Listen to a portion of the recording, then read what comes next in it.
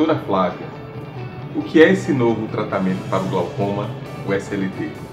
O SLT, doutor Onassis, é a trabeculoplastia seletiva laser. É o laser mais moderno que tem para o glaucoma.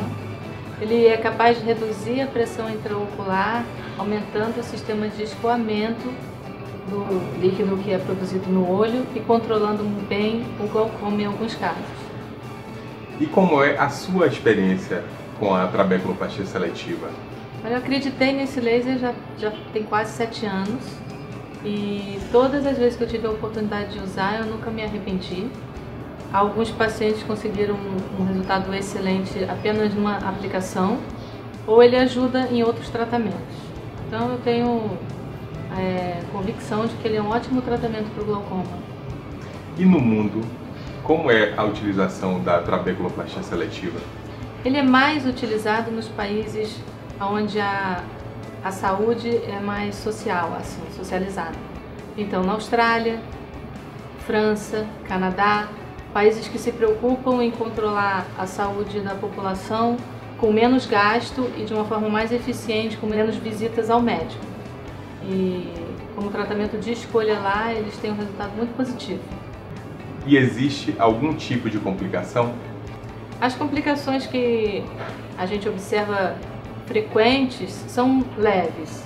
A primeira seria uma complicação que é um aumento da pressão transitório, é, quando o laser é aplicado até 24 horas depois. E isso a gente já se programa para examinar e cuidar para que isso não tenha consequências.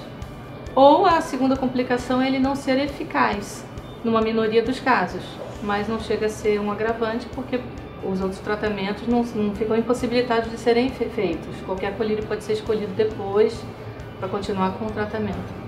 Você acha que pode existir uma melhoria na qualidade de vida do paciente que faz esse tipo de laser e, inclusive, pode haver redução de custos do tratamento? Ah, eu acredito nas duas coisas. Primeiro, passar um colírio é fácil. Lembrar da gotinha na hora certa diariamente e ter o olho mais irritado, mais vermelho para sempre, durante anos e anos e anos, é muito mais é, difícil do paciente seguir do que fazer uma aplicação de laser. E a aplicação de laser, com os colírios custando o que custam, vão com certeza no final de um ano reverter em economia para o paciente. Muito obrigado, doutora Flávia.